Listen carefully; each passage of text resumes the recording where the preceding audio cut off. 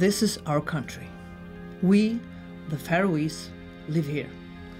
On 18 islands, surrounded by cold seas, engulfed in dark winters and clouds, and battered by intense winds. For centuries, we have fought against these forces of nature. Often we were defeated. Lives were lost, ships wrecked, homes devastated. We have truly suffered great losses in our fight against nature. But now, the times are changing. Don't get me wrong, we still have plenty of storms, but the rain and the wind are now working on our behalf. Rather than eliminating our enemies, we have tamed them and are using their power for our own benefit. We use large hydro turbines and powerful windmills to harvest the resources in the wind and rivers. There is only one energy company in the Faroes, SEV.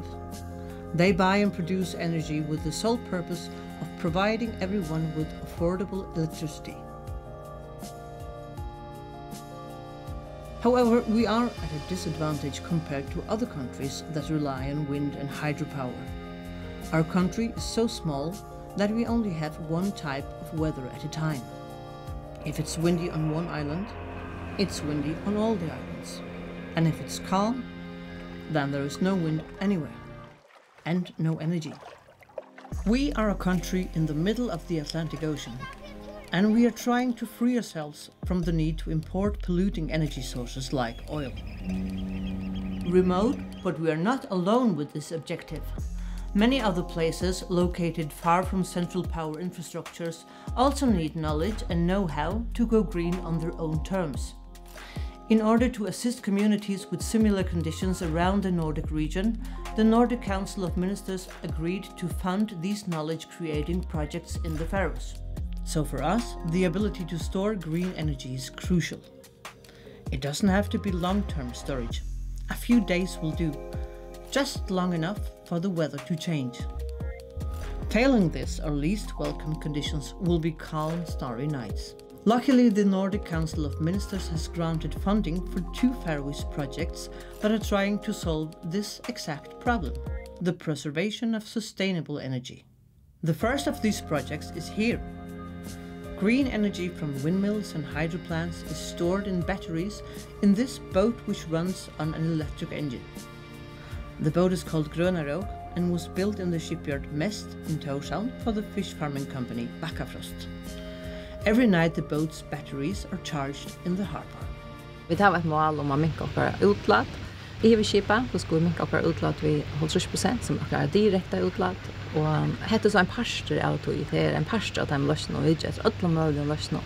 Och i alla att av är att finna mycket lösningar som vi vill vara en djursk. Det verkar bara vara alla det. Larma lite och... Inte röjkor, Ordentlig godt. Og bedre kan arbeid så det. The second project funded by the Nordic Council of Ministers is here, heating up these people's home and the school next door. The mechanics of the project are in here, but this is where it gets a bit technical, so here's Kari Mortensen, the head of the Energy Department at the Environment Agency of the Faroes, to explain. Ja, vi tenker av skolan, her var det radiatorer som har høyt vatt, og høyt vattnet rydt opp fra en oljeføring som brukar olje. Det handlar vel ikke så godt. Vi skulle regne om olje bruker fremtøyene. Og her har vi gjort en verskatlan inne i Lorvøk, ved en skola, her som man har tidsi oljeføringsna ut av skolan. Stein 4 har man sett en hitapump inne i skolan. Hon er så olje smart at hon, hvis hon først regn fra SEV, så kan hon, ved å bruka orsko ur, som djupen hål nere i hjørnet, så kan hon gjøre hita til huset hjemme. Og det kan hon gjøre veldig effektivt. Hon kan, hon kan teka en sånn parst av streg, men så kan man fyra parst av hita, og det er veldig smart. Og ta det så er sånn at det nekve vindur, så har vi noe for det nekve vindmyndig. Det vindmyndene tar med at det er fulltrøm, så gjør det streg, og hita pumpan her, hon kan bruka seg. Det gjør noe nøysene, så hita den skrovan opp, så etter høyt, Men hon hittar eisen vatten i en stor vattentank og lykker opp til 100 grad. Det vil si, her er nekver hite som man gøymer her i tankene. Og så tar vi, nå, kan det er det ikke vinter, så må man bruka strøm herfra. Men det vil jeg helst heller ikke. Vi vil ikke bruke strøm fra her som man strøm vil gjøre det ved olje. Så stein 4, så brukar disse skolen, som er det smartere, han brukar så hitan ur tankene her det kan man gjøre ganske tvær og trutja deg at utan vi vil høyre bruka stein fra leten til å se. Så nå har vi et finnes en skola som er ordentlig grønn. Og det vil jeg gjerne ha at alle skolene og alle bygninger og alle hus for en skole være, og østen gjør det.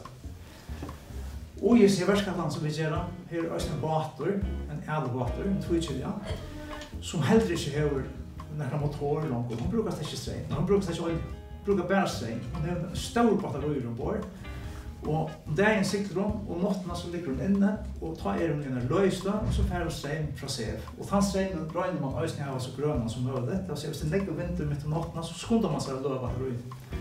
Så nå er bateren øyne nok så grønne. Og vi skulle røyne få alle bater grønne i tøyene, og akkurat dagen nok kjøtt, så skulle de slippe sikla ved som bater. alle. And this is just the beginning. In addition to boats like Grönarog, there are many things that can be charged overnight – Cars, buses, larger boats, and heating systems for more houses, and even whole towns. We are ready to make use of our wild nature, tame it, store its energy, and make it last. This is the mentality remote places like ours must develop making friends with our old enemy, the brutal and energetic natural forces.